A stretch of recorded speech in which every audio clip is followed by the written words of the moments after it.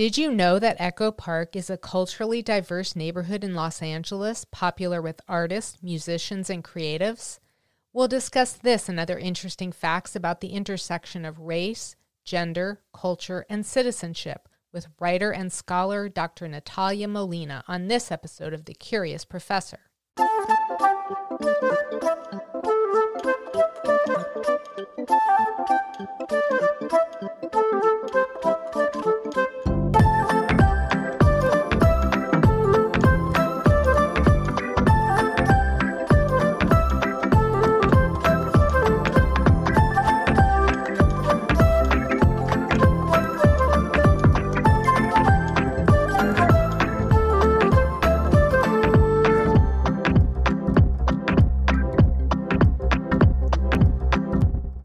Everyone. I'm Dr. B. Welcome to the Curious Professor podcast, where I take listeners on a journey of discovery to explore the people, places, artifacts, and natural wonders that spark my curiosity.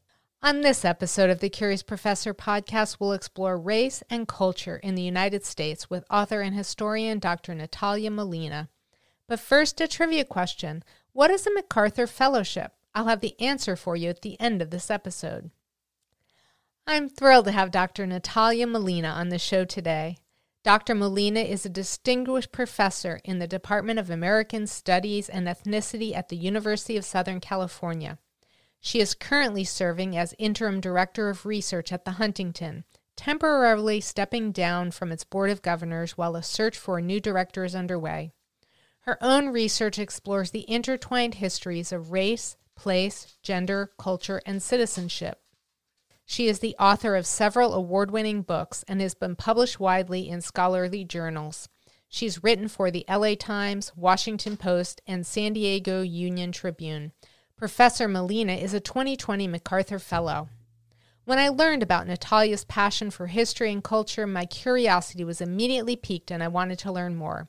I hope this interview with Natalia will spark your curiosity too. Welcome to the show, Natalia. It's great to have you here. I'm so glad to be here, Karen. Thank you. What's the most interesting thing about you? I'm a very structured person. You know, I have routines and schedules. And I think because of that, it allows me a lot of freedom. I'm a very curious person. And so, you know, as professors, people think that, you know, what you do as a professor is, is you teach and you do. Um, but just like attorneys, aren't in court all day long. They're also writing briefs and researching and looking things up. We're lesson planning, but we're also doing our research and we're writing. And we do this thing called service. You know when you think of how does the university run? Yes there are administrators but there are a lot of professors on committees. But there's all these moments that i found early on to to be curious. So um, i started doing administration right after i got tenure and the first time, the first position I looked into was just, I just called just to, you know, when you used to call people, shows how old I am. I just picked up the phone and called. I saw this ad for a study abroad director. And so I wanted to know how I could build up the skills to be eligible for it, not for that go around, but for a later go around. And luckily, the president or the head of the study abroad program for the entire UC system talked to me and he said, Why don't you apply now? And I was in my 30s and I had a child and I'm like, well, because you have, you have to be, you know, far along in your career. And he said, you have to be tenured and you're tenured. And I said, well, because you have to be near retirement because that's a lot of the study abroad directors I, I need were in that position. No, finally I'm like, you have to be like a older white man with like a, a like a blazer with the patches. Like I just had this idea and I realized I had my own gendered idea, maybe not a, a professor, because I knew I was a professor, but at least a professor who was a leader for study abroad. And so he said, It sounds like you're eligible. Why don't you try it? And it was the best experience. I hadn't done that as a student, and I got to travel and try new things and I loved being with the students. It was kind of like being in a res as a residential advisor almost. I'd never lived in a dorm. Yeah, just it opened, and that is experience that opened up a world of possibilities for me because I do U.S. history. You know, we don't have conferences abroad. I don't have to go to archives in Paris like some of my colleagues. But after that, I just started looking for opportunities. So I've given talks all over the world. I've done residencies all over the world. It's just been this unexpected pleasure of being a professor and and just knowing people and and it's improved my work because when you do something like US history or American studies, well there are people that do that abroad. Just like we study China in the US or we study Latin America, people in China and Latin America study us. And so you get to go talk about US history from a scholar trained in China and that under and can read Chinese sources about migration of Chinese to the US. So yeah, I think I guess that's one of the, the things that I've enjoyed the most and maybe somebody would think was interesting. And what was the most fascinating place that you've traveled to? Cuba would be one. I mean, I think they're own they're all fascinating in their own way. So I'll say Cuba and China. Both my trips were were close to each other. So the first going to Cuba, that in the US we don't go to Cuba because you know we've had this embargo since Kennedy was president. And then I went when Obama right up right when Donald Trump was elected. So we still had the Obama regulations when it was loosening up.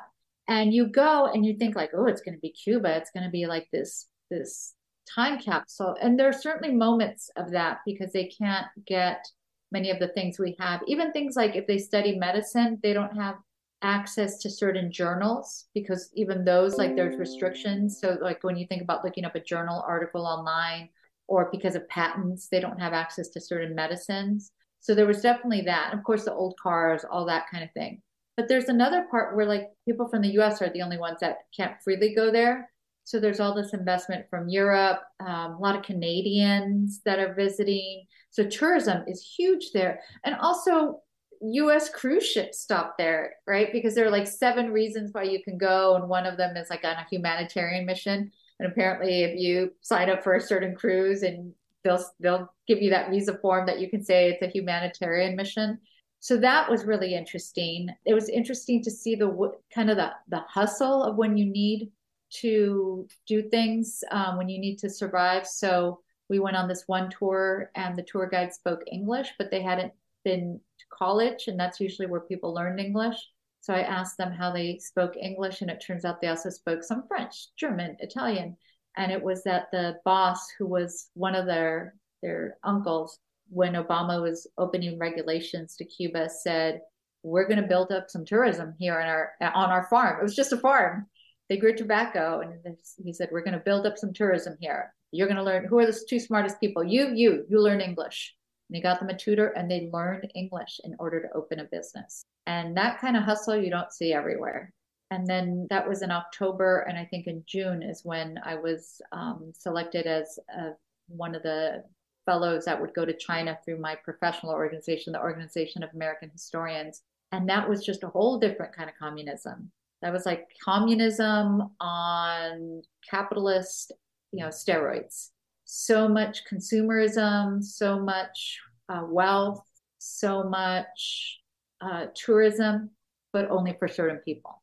And so you just think, Cuba, that was communism. China, this is communism. And they feel completely different. In 2020, you were awarded a MacArthur Fellowship for your work on race and citizenship. Can you tell us more about that award? So, the MacArthur Fellowship is interestingly not for your past work, but for your future work. And so they pick people that they think have a good, strong track record and that can can still keep going, right? Um, because I have one friend who was like, "Are you going to retire now?" Because it comes with a good chunk of change. I was like, "Well, no. I mean, most days I don't think about it, right? Because most days we all do. Or you know, I think a lot of professors they love teaching, they love researching, writing can be challenging, but it feels good to, to have written. Um, what's interesting to me about getting awarded the MacArthur is what I got awarded for. So when I started this, uh, my research, I was really interested in the ways in which the lives of one immigrant or racial group, what I call racialized groups, because race and ethnicity can change over time, um, are like ideas about race and ethnicity. Sometimes Mexicans are called an ethnicity, sometimes they're called a race, sometimes they're called white, sometimes they're called uh, white but Hispanic, know, all these different things. And so I try to show that it's an active process by talking about it as a racialized group. So when I first started, most people, you know, they're used to this, right? Um, ethnic studies being Latino studies, Asian American studies, African American studies, Indigenous studies. In the same way, we have like Black History Month, Women's History Month, Hispanic Heritage Month. So everything kind of is in its own silo. And I was really interested, but how do they come together? And I don't necessarily mean like, how do people, how do African Americans and Latino Americans protest together? I was really interested in so much of how we think about citizenship in the US is framed by notions of Blackness, slavery, the 14th Amendment, Brown v. Board. How do these serve as these kind of what I call scripts for then how other groups are introduced? One example of this is during the pandemic.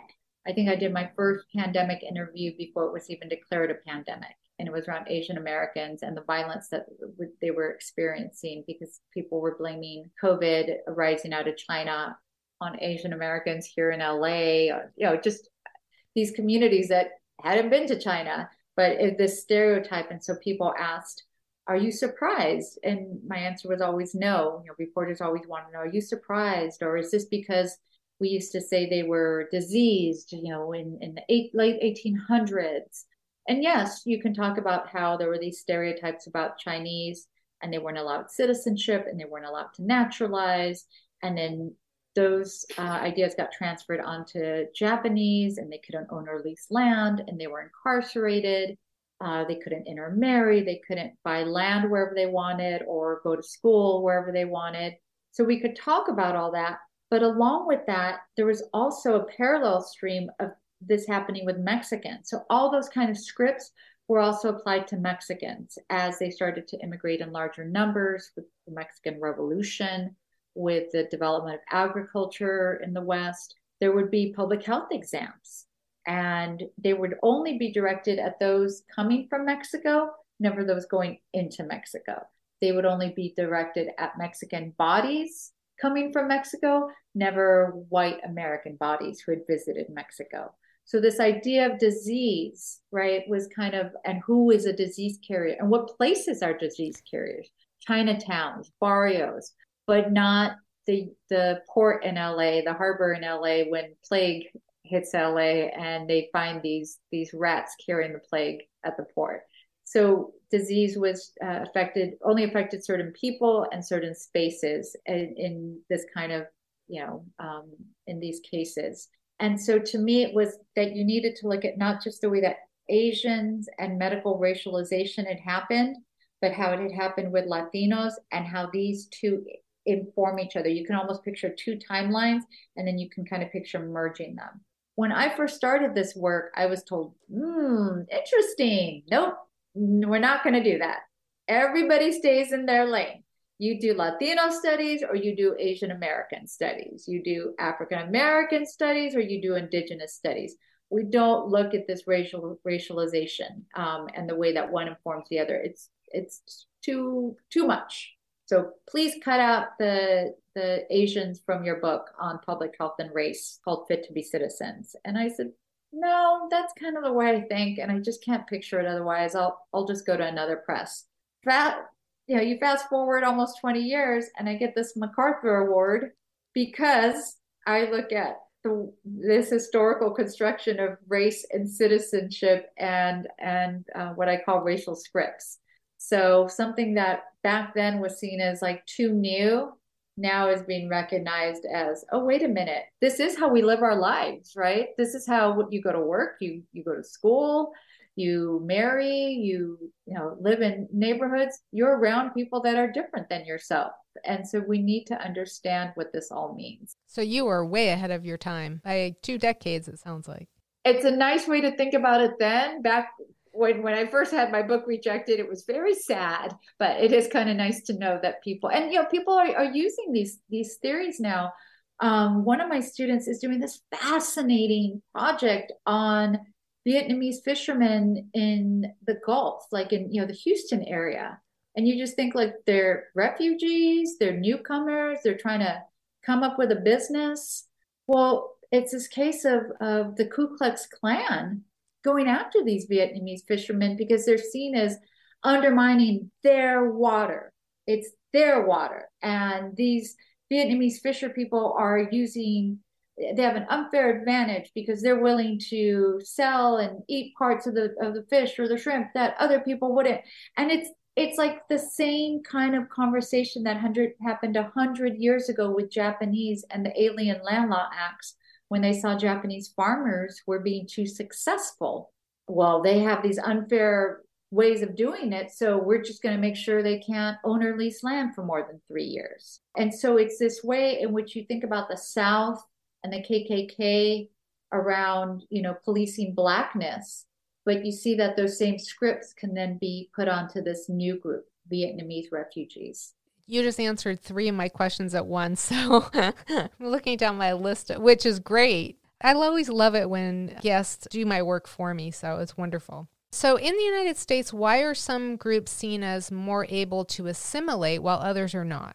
One of the things that I always tell my student is whatever argument you're making about race and how we think about race or that we create policies or you know regulations around race ask what's at stake.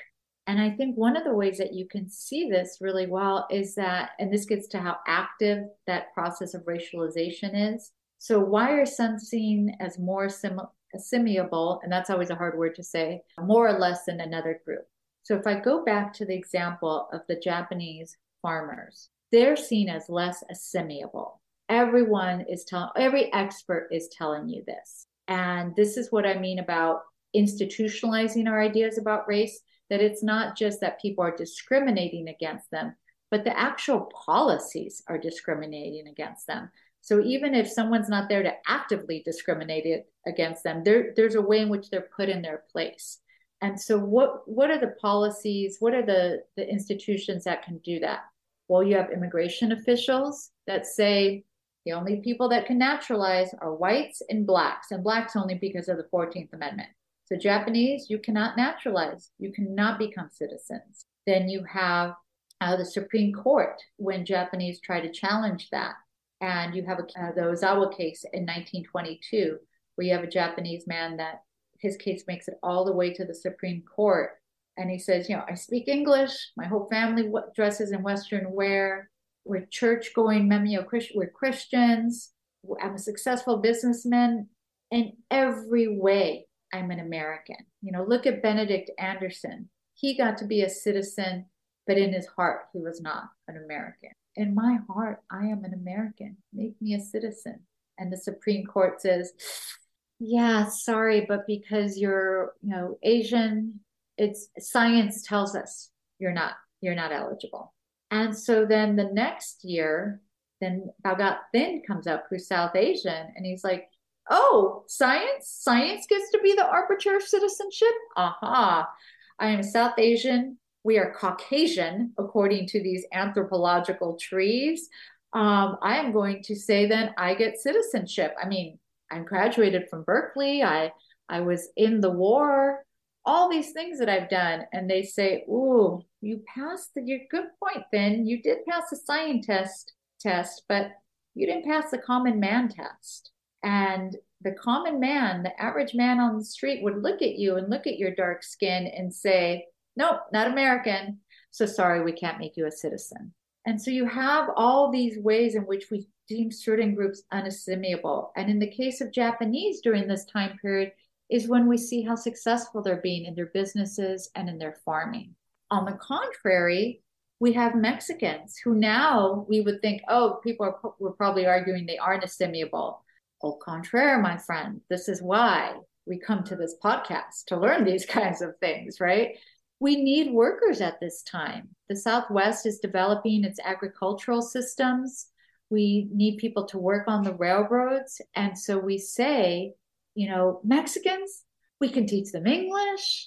Uh, we can help the, the mothers learn how to cook Americanized food.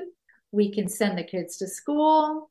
And a lot of them go back to Mexico after the agricultural season is over. They're birds of passage anyway.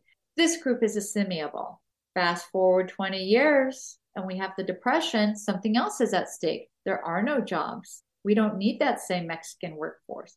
And all of a sudden, that same group that we saw as unassimilable has now become a biological threat. They're more prone to tuberculosis. They're less likely to birth healthy babies. They have higher infant mortality rates. Something else is at stake. And so you see that sometimes it's both, you know, you have a group like Japanese and Mexicans at the same time, one is seen as more assimilable and one is less. And then at other times, that same group, depending on what time period you look at, at them at, they're more or less assimilable. That's how we see that race is socially constructed. That's how we see that groups are racialized and they change over time. I want to make sure that we have enough time to talk about the Mexican restaurant in Echo Park, which is called Nayarit. I think I'm pronouncing that correctly. And you said that it was a place where people could become visible once again, where they could speak out, claim space, and belong. Can you tell us more about that? well, you know what it's like to be a professor. Sometimes you're, you know, telling your students these stories and they're like, that's so depressing. I mean, here I just told you about these immigration acts and these public health policies. And yet I also know that we have joy in our lives. And we don't always get to hear that side of the immigrant story, especially for Mexicans, especially historically. Because if you try to tell that story, it's mainly told through archives and those archives are told from the people who were making those rules. So, courts and police officers and teachers and social workers and settlement house workers. And yet, I knew from growing up in my grandmother's restaurant that there are also places that I call urban anchors in the book that are kind of these safe harbors for immigrants. You know, they're not utopias, but they are these places where immigrants can get a foothold and so for my grandmother, who started the Nayarit in 1951 in Echo Park on Sunset Boulevard in Los Angeles, she was able to come here, like those Mexicans I just told you, you know, fleeing the Mexican Revolution in the early 1920s, and establish a restaurant. She was by herself and she didn't speak English. And she wanted a restaurant that could then serve as a foothold for other immigrants, an urban anchor. And so she created the Nayarit and she hired attorneys to help her write letters to her immigrant friends and family members in Mexico that said, if you give them a visa, they'll get to come here and they'll work in my restaurant. And because it was in a what I call a cultural crossroads and a geographic crossroads, Echo Park, it also wasn't like in an ethnic enclave. And so there were a lot of different people that went there. You know, the, the core clientele what were Mexicans, but they were also, you know, movie stars that came after their shows, musicians that came after performing, Dodger players that went after baseball games, people that had been to downtown to see a play or a concert at the music center came. So it became a, both an urban anchor for ethnic Mexicans as well as this thriving cultural hub. And so that's why I call my grandmother and immigrants like her placemakers. We're used to seeing when we think about like what are the main anchors in a community, we think of like hospitals and schools and libraries, and certainly those are important, but those are official. I'm really interested in the unofficial places that these placemakers create, these urban anchors. Can you just state the title of that book for the listeners who want to learn more about that? It's called A Place at the Nayarit How a Mexican Community Nourished a Community, uh, how a Mexican restaurant nourished a community. And I will also say that um, I'm developing curriculum for it because the point for me in writing this book was I want everybody to do a history of their urban anchor. I know not everybody will write their book, but I would love a teacher to be able to teach this to fourth graders where they can like have like a list of 10 questions that they can go ask at their favorite Armenian restaurant or their favorite Persian restaurant or their favorite pizza spot. And then maybe, you know, in the sixth grade or seventh grade, eighth grade, they scale up and they look up a redlining map that you can find out online and see how was this neighborhood shaped by uh, redlining forces when the government came in and assessed certain areas of, of worthy and, and certain areas of not worthy for investment in the 1930s. And that has a long legacy. And then I kind of keep adding layers for each grade and for the university and, you know, ideas on how people can share this. It might be a TikTok or an Instagram, it might be a poster board. It might be scalar or story mapping. Just depends what age you're trying to teach this to and what tools you have at your disposal and how much time you have. That's wonderful. I love it. Where can listeners find out more about you? I am at Natalia Molina, phd.com. That's my website, and that's where you have everything. You can find my Twitter and Instagram handles, prof underscore Natalia M. At the bottom, you can sign up for my newsletter because I'm always learning. Just like you're learning through your podcast, I love to hear people's stories when they come to my book readings.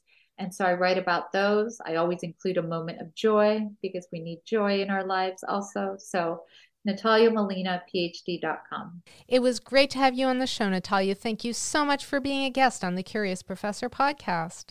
Thank you for such a carefully crafted interview. I really appreciate your time. And now for the answer to this episode's trivia question What is a MacArthur Fellowship? The MacArthur Fellows Program, also known as the MacArthur Fellowship and commonly referred to as the Genius Grant, is a prize awarded annually by the John D. and Catherine T. MacArthur Foundation to U.S. citizens or residents working in any field who have shown extraordinary originality and dedication in their creative pursuits and a marked capacity for self direction. We'll end the show with something punny. What is a professor's favorite snack? academia nuts, except for math professors. They love pie.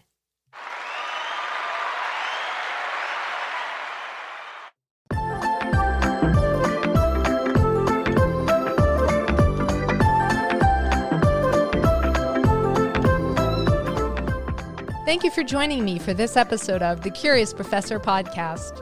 If there's a person, place, artifact, or natural wonder that has sparked your curiosity and you'd like for me to feature it on the show, please let me know. My website is thecuriousprofessorpodcast.com. If you enjoyed the show, be sure to subscribe to the Curious Professor podcast wherever you listen to podcasts. And if you'd like to become part of my community of curiosity seekers, be sure to visit my website, thecuriousprofessorpodcast.com, and join Dr. B's Hive. Until next time, always be learning and be curious with Dr. B.